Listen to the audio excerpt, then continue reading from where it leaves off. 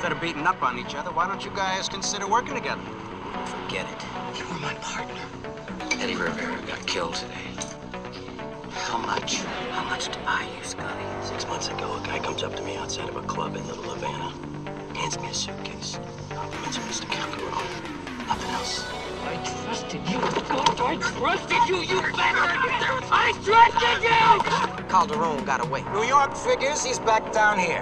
Raphael Tubbs died three weeks ago in that New York shootout with Calderon. Who are you, man? His brother.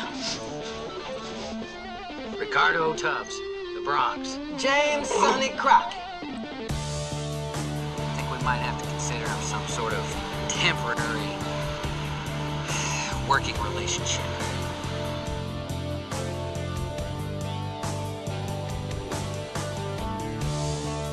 You so so late? I'm sorry,